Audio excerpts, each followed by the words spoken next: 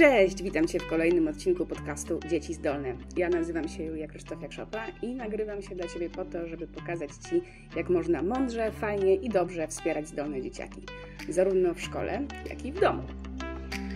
A dzisiaj chciałabym pogadać trochę o tym, czy warto startować w konkursach i olimpiadach. Akurat mamy jesień i często to jest właśnie ten okres, kiedy zdolne dzieci dostają takie pytanie: Hej, czy wystartujesz w konkursie, czy wystartujesz w olimpiadzie? No bo często właśnie, gdy, gdy szkoła zdaje sobie sprawę, że uczy się w niej uzdolnione dziecko i wiedza szybko wchodzi mu do głowy, no to te hasła konkurs, olimpiada pojawiają się jako takie naturalne sposoby mm, zaopiekowania się tym talentem i uzdolnieniami. No bo tego talentu niby szkoda, a też pamiętajmy o tym, że dobre wyniki uczniów w konkursach, no one przydają szkołom chwały i glorii w rankingach. Ale na szczęście wielu rodziców zastanawia się i bardzo słusznie, czy oby te starty w konkursach i olimpiadach to jest właściwy sposób na, na kanalizację energii i uzdolnień tych y, takich dzieci. Więc chciałabym z Wami trochę porozmawiać o tym, jakie są plusy i minusy udziału w konkursach wiedzy. Teraz jako mama y, dziewięciolatka, chłopca w trzeciej klasie podstawówki, zauważyłam, że można już przebierać w całej palecie rozmaitych ogólnopolskich konkursów wiedzowych. Mamy alfiki, omnibusy, leony, świetliki, no i wreszcie też znanego już od wielu lat obecnego w Polsce międzynarodowego kangura matematycznego. Od czwartej klasy potem dochodzą jeszcze oficjalne konkursy kuratoryjne, a w szkołach średnich olimpiady. I w przeciwieństwie do tych konkursów z etapu nauczania początkowego, to na tych późniejszych etapach, czyli w siódmych, ósmych klasach, a potem w liceach, stawka jest już całkiem wymierna, no bo laureaci i finaliści mogą liczyć na przepustki do szkół średnich i indeksy na studia. Ale oprócz tych dużych ogólnopolskich konkursów, no to mamy jeszcze całą taką paletę mniej i bardziej lokalnych inicjatyw, w których dzieci i młodzież też się mogą wykazać nie tylko wiedzą z konkretnych dziedzin, ale też często kreatywnością albo umiejętnością pracy w grupie. Ja zdaję sobie sprawę, że przychodzę tutaj z takimi własnymi doświadczeniami, bo w konkursach startowałam chyba od trzeciej klasy podstawówki i nawet z obecnym mężem poznaliśmy się przygotowując się do olimpiady. Więc ja definitywnie osobiście widzę ogrom plusów, z jakimi starty w konkursach e, się wiążą, ale też z perspektywy czasu dostrzegam ryzyka i zagrożenia z nimi związane. Ale zacznijmy od plusów, czyli dlaczego warto brać udział w konkursach i olimpiadach. Po pierwsze, przygotowanie do konkursu nadaje ramy samemu procesowi zdobywania wiedzy. Nie? I choć wielu ludziom, a w tym dzieciom również, ten proces nauki oparty na przeskakiwaniu pomiędzy tematami yy, i pogłębianiu tylko tych, które wydają się atrakcyjne, bardzo pasuje, no to jednak ryzykiem takiego modelu jest brak fundamentów wiedzy, co potem często okazuje się przeszkodą do dalszego rozwoju w przyszłości. Natomiast programy konkursów czy olimpiad są na ogół dosyć dobrze przemyślane i dobrze określone, i one właśnie pozwalają unikać pułapki osiągania takiej wiedzy powierzchownej i nieugruntowanej. Drugi plus jest taki, że przygotowanie do konkursu pod okiem zaangażowanego, nauczyciela, podkreślam, zaangażowanego, pozwala zbudować taką więź mentor-uczeń. I dla zdolnych dzieci i młodzieży taka relacja jest niesłychanie ważna, bo ona pokazuje takiemu młodemu człowiekowi, że jego potencjał jest też, liczy się, jest jakoś ważny, rozpoznawany też poza domem, nie? I to bardzo dobrze wpływa na jego poczucie własnej wartości. Trzecim plusem konkursów i olimpiad jest to, że indywidualne przygotowanie do konkursu uczy dyscypliny, samodyscypliny i wytrwałości. I wiecie, nawet u bardzo zdolnego młodego człowieka to osiągnięcie dobrych wyników w konkursie wymaga bardzo wiele pracy. I w ten sposób dziecko uczy się, że mm, efekty są konsekwencją pracy, a te ponadprzeciętne zdolności wcale z tej pracy nie zwalniają. Czwarty plus to jest walka z nudą. To znaczy, młody, zdolny człowiek często jest wiecznie znudzony szkołą, a na konkursie czy na olimpiadzie dostaje wreszcie wyzwanie. I niektóre konkursy, pamiętajmy, są na tyle trudne, że przygotowując się do nich naprawdę na tę nudę trudno narzekać. Piąta rzecz. Konkursy dają możliwość rywalizacji i konkurencji i wielu młodych naprawdę tego potrzebuje. Nie jestem psychologiem, ale wydaje mi się, że to dotyczy w ogóle populacji młodzieży i dzieci w ogóle. Zobaczcie, jak powszechny jest e-sport i gaming. Kiedyś to był sport, który był powszechny. Y, I to są właśnie jedne ze sposobów spełniania tej potrzeby konkurencji i rywalizacji. No, w przypadku konkursów i olimpiad wiedzowych tę potrzebę można zaspokoić na poziomie innej dziedziny, która akurat dzieciom zdolnym jest bliższa. Szóstym plusem jest to, że udział w konkursach to szansa poznania rówieśników na podobnym poziomie i o podobnych zainteresowaniach. I to jest szczególnie ważne dla populacji zdolnych, bo oni mają nikłe szanse spotkania podobnych sobie w swoim codziennym środowisku. Ja do dzisiaj pamiętam ożywione dyskusje przy śniadaniu w hotelu Felix na Grochowie w Warszawie, w którym zakwaterowani byli uczestnicy ogólnopolskiego finału olimpiady, w której ja startowałam, albo wspólną jazdę pociągiem delegacji z województwa na finał. No i wszyscy ludzie, których wówczas poznałam, dzisiaj robią niesamowite rzeczy na wielu, kilku, na, na wielu kontynentach. Jestem pewna, że gdyby nie olimpiada, no to raczej bym ich nie poznała. I siódmy, taki ostatni, dosyć pragmatyczny plus, no to jest taki, że dyplom uzyskany w konkursie czy olimpiadzie jest ogólnie rozpoznawanym potwierdzeniem uzdolnień. I możemy się na to zrzymać, bo przecież nie każdy zdolny musi taki dyplom mieć, musi się tym legitymować. No to jednak pamiętajmy, że żyjemy w społeczeństwie, które lubi podważać uzdolnienia i lubi zaprzeczać uzdolnieniom. Moim zdaniem konkursy i olimpiady to jest taki najprostszy sposób na hakowanie tego systemu. Mamy więc 7 plusów, teraz przejdźmy do minusów minusów, czyli dlaczego nie warto startować w konkursach albo kiedy to nie ma sensu. Pierwszym minusem jest to, że konkursy przyzwyczajają dzieciaki do motywacji zewnętrznej. To jest tak, że jeśli taka konkursoza dobrze wiedzie, to w pewnym momencie start i nagroda w zawodach stają się celem samym w sobie i łatwo zapomnieć o radości, jaką daje zdobywanie wiedzy dla samego procesu zdobywania wiedzy, czyli z tej motywacji wewnętrznej, z ciekawości. To jest taka różnica jak między czytam to, bo mnie to ciekawi, versus czytam to, bo jest w programie olimpiady. No i ta różnica jest bardzo duża. Motywacja wewnętrzna jest dużo silniejsza, motywacja zewnętrzna jest czymś, co łatwo, dużo łatwiej wyłączyć. Drugim minusem jest to, że konkursy, a zwłaszcza na tych wyższych etapach edukacyjnych, wymagają dużej inwestycji czasowej i energetycznej. Nie można o tym zapominać. Nawet zdolnym konkursy nie przychodzą tak za pstryknięciem palca.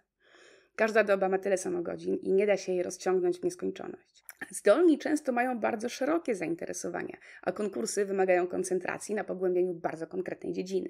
To znaczy, że w procesie przygotowania do konkursu czy olimpiady młody człowiek może po prostu nie mieć wystarczająco dużo czasu i energii, żeby zajmować się też innymi sprawami, które równie mocno go wciągają.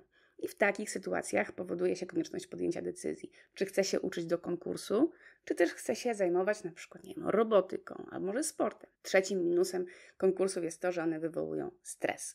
I kto uważa inaczej, albo moim zdaniem nigdy nie startował w konkursie, albo po prostu bardzo mocno swoje takie stresujące doświadczenia wyparł. Trudno bowiem nie stresować się w sytuacji, gdy chce się zrealizować jakąś swoją ambicję, a ma się tylko jeden strzał, jedną okazję. W przeciwieństwie do egzaminów, testów, matury, konkursów nie można tak po prostu powtórzyć. Co najwyżej można wystartować jeszcze raz za rok. Więc startowanie w konkursach wymaga umiejętności radzenia sobie ze stresem i tą wewnętrzną presją, co skąd inąd przydaje się w życiu w ogóle. Tylko trzeba pamiętać, że niektóre jednostki nie są jeszcze wystarczająco przygotowane do takiego stresu. I często jeszcze, gdy dodatkowo doświadczają presji środowiska zewnętrznego, na przykład rodziców albo nauczycieli, no to one po prostu tym stresem się trochę wypalają.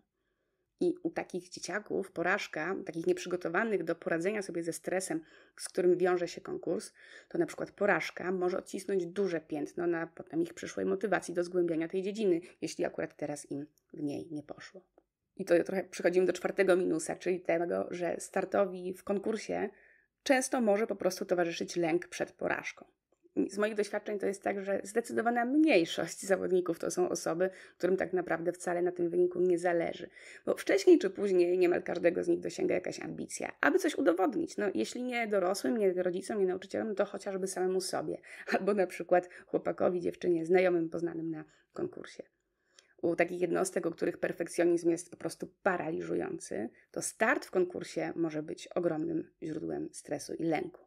I wreszcie piąty minus ze startowania w konkursach jest taki, że już sam start, wola wystartowania często wywołuje presję i oczekiwania ze strony środowiska, ze strony rodziców, nauczycieli. Niestety to jest coś, na co sam zawodnik, młody człowiek nie ma wpływu. Najwyżej może po prostu wybrać, żeby tej presji nie ulegać. Chociaż wiecie, u 9-10-latka trudno naprawdę oczekiwać czy wymagać takiej dojrzałości. Natomiast no, dorośli rodzice czy nauczyciele mogą mieć trochę kontrolę nad tą presją czy oczekiwaniami, jakie komunikują y, młodemu człowiekowi i po prostu starać się jak najmniej tej presji na startującego wywierać. Czyli na przykład nie formułujcie pozornie takich coachingowych zachęt typu o, na pewno świetnie ci pójdzie, albo o, na pewno wygrasz. Nie? Y, starajcie się okazywać zrozumienie dla braku wybitnego sukcesu i doceniajcie też już samą wolę udziału w konkursie. Tutaj warto, żebyście podkreślali wagę procesu zdobywania wiedzy i umiejętności w toku tych po prostu przygotowań do konkursu, a nie wyłącznie kładli e, nacisk na efekt w postaci tej wysoko punktowanej lokaty na liście finalistów czy laureatów. Słuchajcie, podsumowując, jeżeli ty, który mnie słuchasz, czy która mnie słuchasz, jeżeli jesteś nauczycielem, nauczycielką, rodzicem młodego człowieka, który zastanawia się, czy startować w konkursie lub olimpiadzie, no to po prostu pokaż mu tę listę i pozwólcie, pozwól jemu samodzielnie ocenić, czy raczej przeważają u niego plusy, czy raczej minusy. Moim zdaniem najgorsza możliwość to jest zmuszać dziecko albo młodego człowieka do robienia jakichś dodatkowych, ekstra rzeczy, na które ono po prostu nie ma ochoty, które je totalnie przerastają i do tego jeszcze bez pozytywnego wsparcia w przezwyciężaniu jakichś wewnętrznych trudności. Wielu też decyduje się po prostu startować w konkursach dla tych czysto pragmatycznych, obiektywnych korzyści, jak te indeksy na studia, szóstki na maturze i to powiedzmy obiektywne portfolio sukcesów. I to jest ok. Tutaj dla takich osób mam radę. Warto zacząć raczej wcześniej niż później, dlatego że nic nie jest tak stresujące dla zawodnika, jak pierwszy start w olimpiadzie, na przykład w ostatniej klasie liceum albo w ostatniej klasie podstawówki warto mieć ten czas, ten margines, aby w razie czego, jeżeli zależy nam konkretnie na tej nagrodzie, móc się poprawić w kolejnym roku. Dla rodziców i nauczycieli młodszych dzieci mam e, taką radę, żebyście wybierali konkursy z głową. To jest e, wprawdzie temat w ogóle na osobny podcast, osobną, osobną rozmowę, ale pamiętajcie, że pośród wielu różnorodnych konkursów, na przykład matematycznych, no są i takie, które premiują logiczne myślenie, jak powiedzmy kangur matematyczny, i takie, które premiują sprawność w dokonywaniu obliczeń, jak na przykład leon matematyczny. I nawet w obrębie matematyki różne dzieci mają różne kompetencje i trzeba sobie po prostu z tego zdawać sprawę. I podobnie jest w konkursach wiedzy ogólnej. Są takie konkursy, które premiują wiedzę szeroką, erudycyjną i jakąś tam powiedzmy dozę kreatywności, ale też są konkursy premiujące wiedzę sztampową, podręcznikową rodzice młodszych dzieci, moim zdaniem, powinni się y, zapoznać skrótowo, na przykład z arkuszami konkursowymi z poprzednich lat, a szczęśliwie większość organizatorów udostępnia je na swoich stronach internetowych, aby po prostu świadomie podjąć decyzję, czy to jest dla malucha dobry konkurs, czy będzie dla niego działał motywacyjnie, czy raczej demotywacyjnie na przykład. I na koniec wszystkim radzę, aby do konkursów podchodzić bez ciśnienia i żeby zawsze, ale to zawsze zauważać jednak spory pierwiastek losowości, który im towarzyszy.